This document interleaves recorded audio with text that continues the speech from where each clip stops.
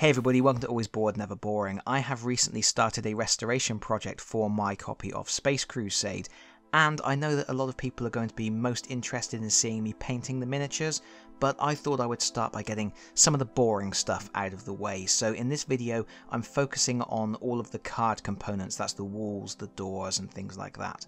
Fortunately, my copy of Space Crusade is in really good condition, so there's very little restoration work involved.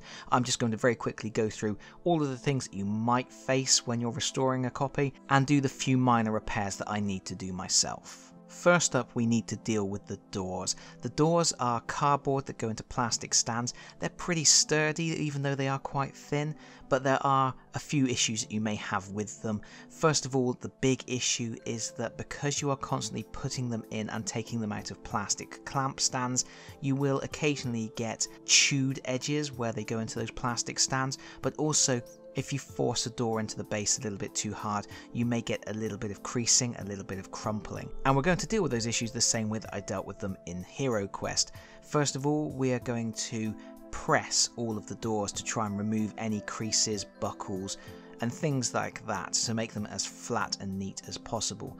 And it's a very simple process to do that.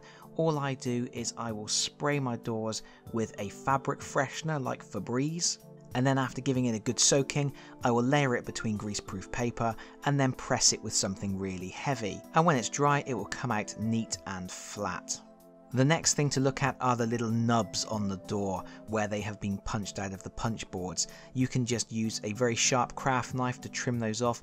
You don't have to, you can leave them on if you really want to, but they will look just a little bit neater if you very carefully go around the edge with a very very sharp craft knife and just cut off those extra little bits. And then when you've done that, your doors are looking much better than they were before. You can see on this one that I have here though, there is a chewed edge at the bottom.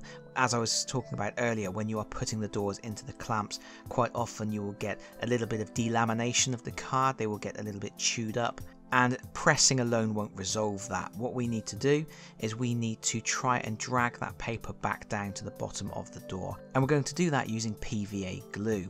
First of all we're going to put some PVA glue on a Citadel texture tool, any spatula type tool will do for this and I'm going to soak the paper where it's been chewed up and then I'm going to very carefully drag the paper back down into place.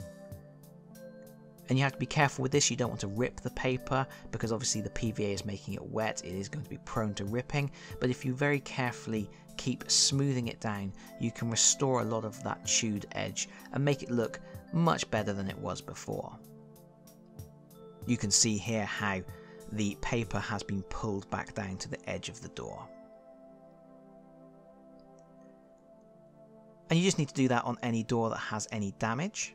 And then once you've done that, you're going to get an old brush and you're going to paint along the bottom of that door. And what that will do is that will toughen up that edge and make it less likely to chew up in the future. And if you want to, you can actually apply the PVA all the way around the door. While the other edges of the door aren't likely to get chewed up in the same way, they are still access points for moisture. So doing this, you can just make sure that your doors stay in the best condition possible. If you want to, you can even paint the edges to match the actual sides of the artwork, but I'm not going to. And of course, as well as the doors, you have the airlocks, and the airlocks are prone to all of the same issues as the doors, and they are restored in exactly the same way. With the doors done, we can move on to the walls, and there are a couple of issues that you may have with the walls. First of all, you may find that above the door arches you will get creases, and that is resolved in exactly the same way as with the doors itself. You will spray it with a fabric freshener, layer it between greaseproof paper, and then press it with something really heavy. I use a couple of large superhero books.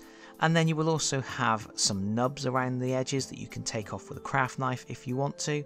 And then also, the way that the Space Crusade board goes together, it's held together with plastic clips, and those clips can cause some damage on this edge of the wall here, and also on this top edge of the wall here and you can resolve that issue the same way you did with the chewed up edges of the door using PVA glue, a texture tool or similar spatula tool and just very carefully teasing that paper back into place where it's delaminated and then painting along the edges of the walls with PVA glue to help seal it and preserve it and make it a little bit tougher for future use. It's all pretty straightforward stuff, and stuff that when it's done you won't really notice you've done it, but it will just make things last for longer. Finally, we're going to look at the boards themselves, and again, because of the way they go together with plastic clips, sometimes the corners of the board have a little bit of that delamination, and you may have some slightly chewed edges where clamps have been attached. And again, we're going to be relying on PVA glue and our texture tool to restore these problems. So I'm just using PVA and my texture tool and I'm going to very carefully apply that to where the paper has been pulled back and I'm going to try and move it back into place as much as possible. And then once I've done that, I'm going to paint all the way around the edges of the board just to make them a little bit sturdier for when I clamp plastic onto them in the future.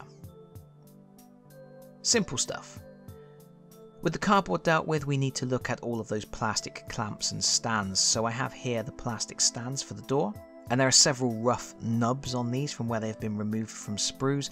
You can trim those up with a craft knife if you want to, and then you can leave them as that if you want to, or you can actually paint the bases and I'm going to do a very simple paint job on these just to make them a little bit nicer to look at. I've started by spray coating them with a matte black primer and if we look at the texture on these bases very closely you can see there are four large indentations on all of the bases that isn't part of the design of the base as far as I can tell, it's more to do with the manufacturing process of the bases. If you really want to, you can fill them in and try and match up the texture with the rest of the base.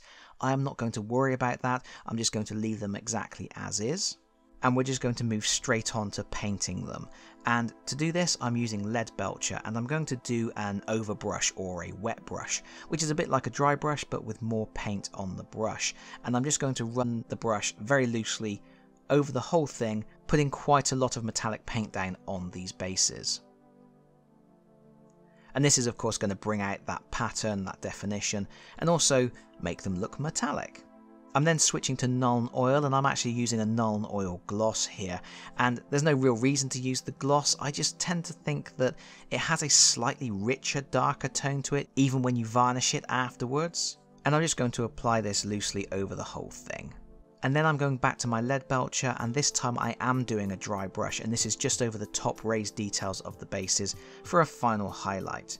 And once you've done this, you can leave it there if you want to, and I am actually going to leave it there because I don't really think these bases are interesting enough to warrant further painting. But if you want to, there are other things you can do. You could do a second highlight with a brighter metallic paint. You could perhaps turn those indentations into floor lights. And also, you could do something which is quite fun and which I've done in the past. You could paint some blood splatters on those. I'm not going to be doing that because I'm trying to keep my copy of Space Crusade looking quite retro and quite clean, but some blood splatters can be nice and I have done painting guides on blood splatters previously, so why not listen to me from a few years ago talking about how to apply blood splatters to metallic surfaces. And then we're going to do a blood splatter. This is starting with Chaotic Red. And, you know, because we're in the grim dark future, there's blood on everything. So we're going to do a blood splatter like somebody has come to a grisly demise on this platform, or just to the edge of this platform. Um, so we're starting with the Chaotic Red, and I've watered it down so that, it, that you will be able to see um, the, the, metal colours through it a little bit. And um, you can get a little bit just think about where you imagine the injury to have been sustained, um, and then sort of flick the brush and just be a little bit artistic and creative and just do something that you think looks nice, if nice is the right word for a horrible, grisly blood splat. So that's the dark red. We're now going to go to dragon red, which is a lighter red. Again, we're watering it down. And we're just continuing continuing the uh, the layering up of the colour.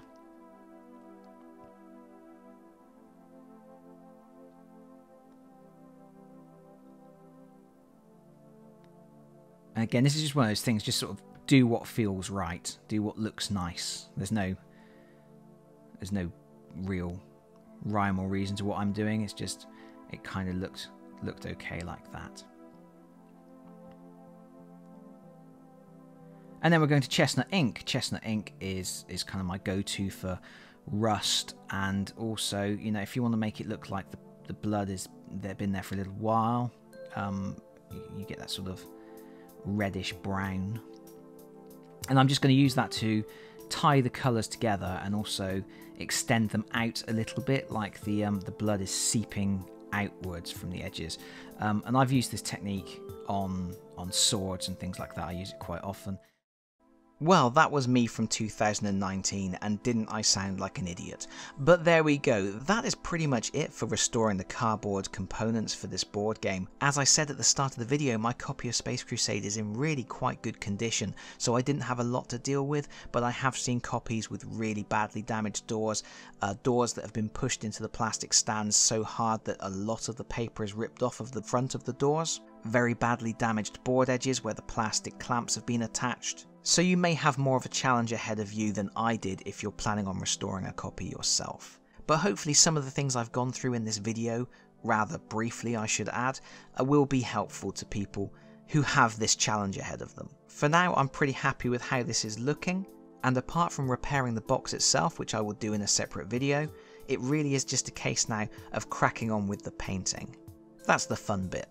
Hopefully you will join me for some of those videos as we go forward with our Space Crusade restoration project. For now, thank you so much for watching. If you've enjoyed the video, please consider pressing the like button. If you really enjoyed the video, please consider subscribing if you don't already do so, and hopefully, I'll see you all again very soon. Bye bye everyone. Bye bye.